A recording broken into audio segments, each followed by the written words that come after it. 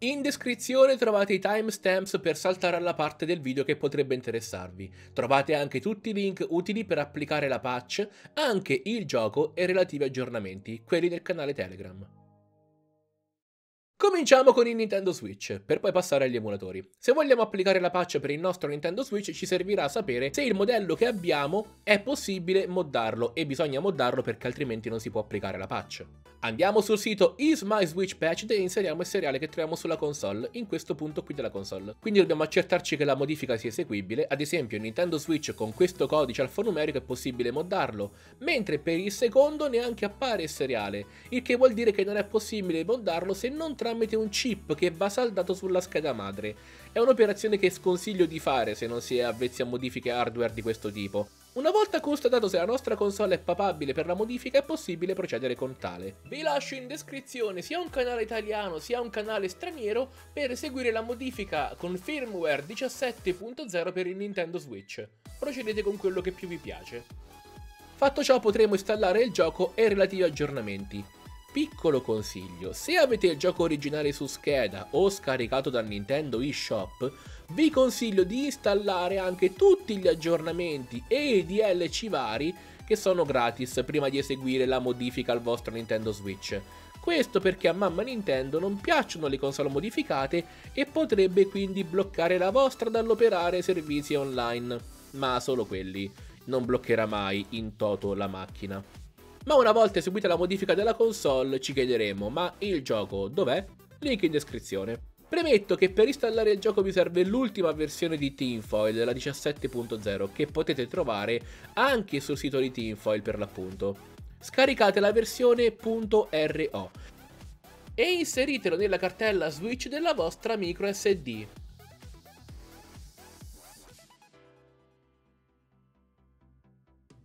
Si installerà automaticamente una volta che avrete avviato la console con la modifica. Scaricato Yokai Watch è il momento di inserirlo nella micro SD del vostro Nintendo Switch. Ovviamente bisogna spegnere la console tramite il pulsante power. Collegatela però prima ad una presa USB del vostro PC per facilitarvi il compito successivo.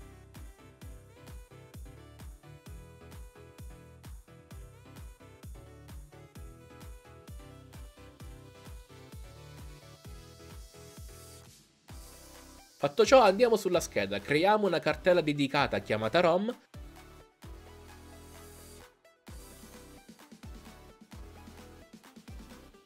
Trasciniamoci dentro il gioco.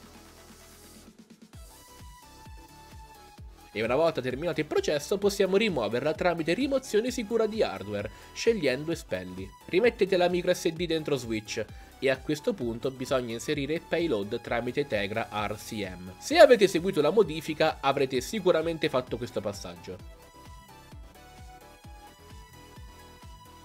Inseriamo il payload e via. Andiamo su Teamfile, andiamo su Esplora e da lì scegliamo il percorso della micro SD. Quindi la cartella con la ROM e tutti i DLC e aggiornamenti. Il mio consiglio è di installarli manualmente tutti uno per uno.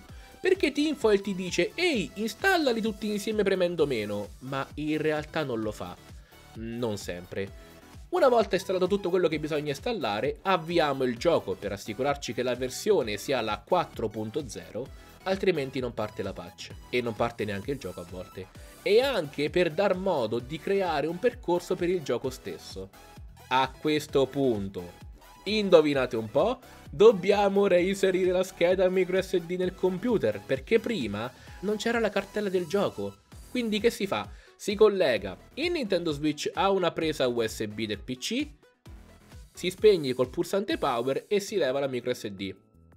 Ora, nella microSD Atmosphere e cartella Contents, in questa barra di ricerca digitiamo questo codice alfanumerico per trovare più facilmente ciò che ci interessa.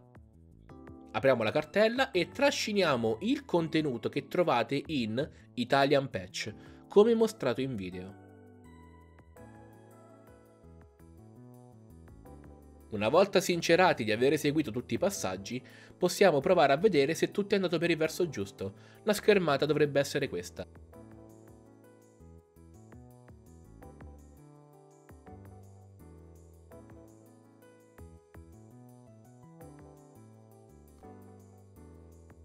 L'ibrida di Nintendo è sistemata. Passiamo agli emulatori. Yuzu è il primo. Se non sapete dove trovarlo, aprite un browser qualsiasi e digitate Yuzu Emu Download e il primo risultato dovrebbe essere questo. Scaricate, installate e siamo pronti a cominciare. Yuzu si aggiorna automaticamente ad ogni avvio. Quindi avrete sempre l'ultima versione disponibile. L'interfaccia è simile a quella di Sitra, se siete avvezzi a Sitra siete a cavallo. Per trovare il gioco, doppio clic su Aggiungi nuova cartella dei giochi. Cercate la cartella dove conservate le ROM e scegliete Yokai Watch Gem. Una volta aggiunto, andate su File, Installa su NAND e scegliete la cartella contenente sia l'aggiornamento sia i vari DLC. Installateli e avrete la versione 4.0 installata. Se tutto è andato correttamente dovreste avere questa schermata che conferma.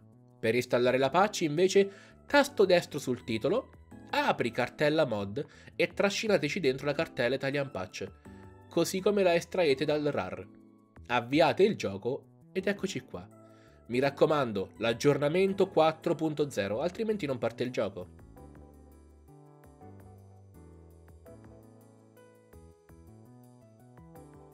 Per le impostazioni di Yuzu io uso queste.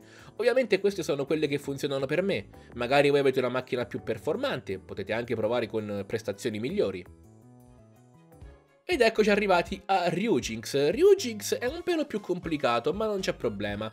Anche per lui, barra di ricerca su un browser, Ryujinx Emu Download, primo risultati e pronti.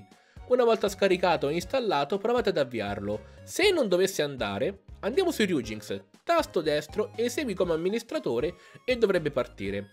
A volte potrebbe metterci un po' ad aggirare, tra virgolette aggirare, ad essere accettato e più corretto dal firewall di Windows, quindi aspettate qualche secondo. Il problema di Ryujinx però è che ha bisogno delle keys per funzionare e non solo. In descrizione trovate il download delle keys, scaricate ed estraete il contenuto. Torniamo su Ryujinx e scegliamo File, Open Ryujinx Folder. System e spostiamoci i file che abbiamo appena estratto da Keys. Non è finita qui! Sempre in descrizione trovate il download per il firmware che servirà a far partire giochi più recenti. Scaricatelo. Poi andiamo su Ryujinx, scegliamo Tools, Install Firmware, Install Firmware from XCI or Zip e cercate il pacchetto appena ottenuto. Vi chiederà di installare un nuovo firmware e vi avviserà con un messaggio visivo una volta terminato. Anche System Version risulterà aggiornato. A questo punto manca solo il gioco, che vi ricordo trovate in descrizione. Per installare il gioco andiamo su Options e poi Settings. Potete inserire manualmente il percorso che vi interessa oppure, più facilmente, cliccare su Add e cercare la cartella dove ci sono i vostri giochi. Una volta fatto, cliccate Apply e Save. Per inserire DLC e aggiornamenti, cliccate con tasto destro sul titolo Manage Title Update. Scegliete la cartella con l'aggiornamento e installatelo. Per i DLC invece scegliete Manage DLC e scegliete tutti i DLC da installare. Se tutto è corretto avrete questa schermata. Trovate anche un link in descrizione che vi porta ad una guida passo passo. È in inglese, ma c'è uno screenshot per ogni passaggio da effettuare, quindi anche se non masticate l'inglese è comprensibilissima. A questo punto manca solo la patch italiana. Ancora tasto destro sul gioco, Open Mods Directory e trascinate nella finestra che si è aperta la cartella Italian Patch. Avviate il gioco ed ecco fatto.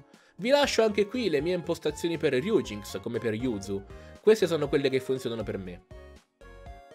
Spero che tutto sia andato per il verso giusto a chi ha deciso di applicare la patch seguendo questa guida. Questa è la guida più esaustiva che abbia mai fatto, ogni singolo passaggio a voce e a schermo. E non lo chiedo mai, ma se lasciate un mi piace o un commentino magari, l'algoritmo mi aiuta e ci tengo davvero stavolta perché questa patch è stato un lavoraccio registrarla dato che ci sono molti passaggi da eseguire e tutti sono a schermo. Ad ogni modo, vi auguro un buon gaming e ci vediamo al prossimo video. Ciao!